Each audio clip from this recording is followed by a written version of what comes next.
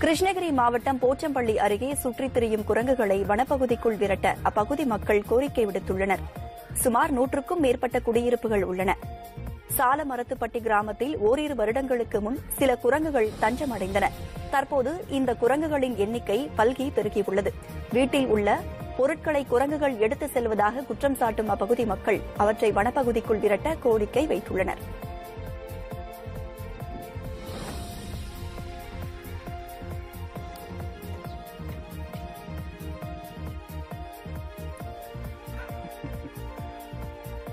அண்மை செய்திகளுக்காக இணைந்திருங்கள் புதிய தலைமுறையோடு.